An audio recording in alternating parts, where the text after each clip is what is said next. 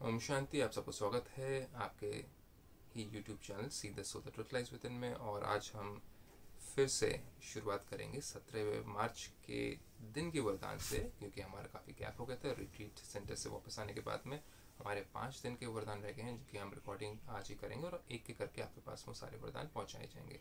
चाहे आप उनको व्हाट्सएप पर सुन रहे हैं एज एन ऑडियो या आप उनको YouTube में देख रहे हैं। तो देखें, परमात्मा पिता आज के वरदान में हमें कहते क्या हैं?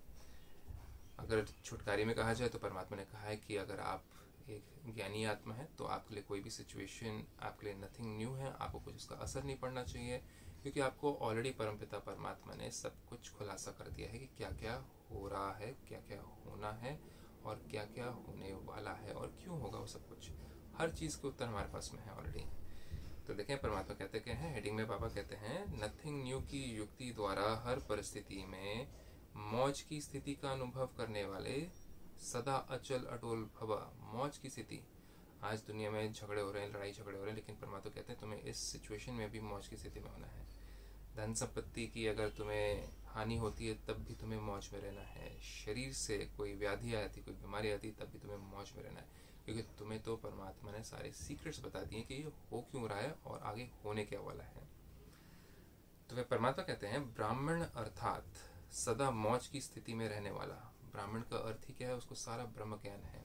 उसको सब कुछ पता है कि तीनों कालों में क्या क्या हुआ था, क्या करना है, क्या होने वाला है और क्या हो रहा है।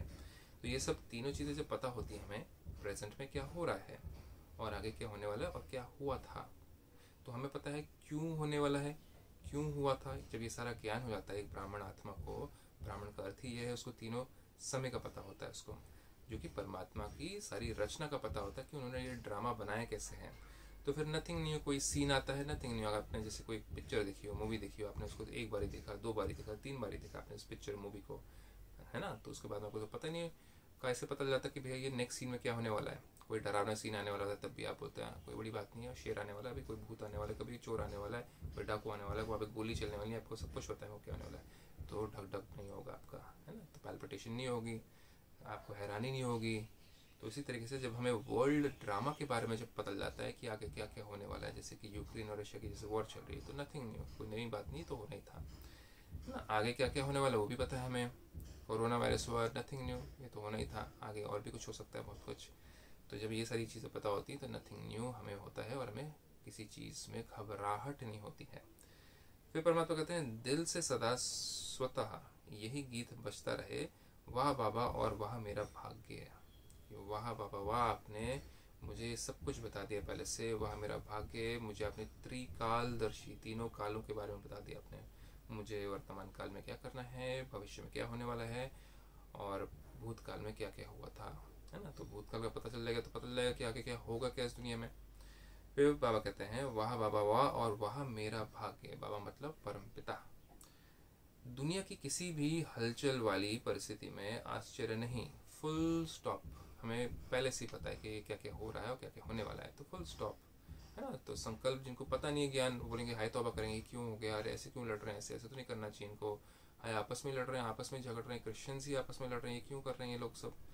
तो परमात्मा कहते हैं फुल स्टॉप कुछ भी हो जाए, लेकिन आपके लिए नथिंग न्यू कोई नई बात नहीं है। इतनी अंदर से अचल स्थिति हो, क्या क्यों में मन मुझे नहीं? तब कहेंगे अचल अडोल आत्माएँ।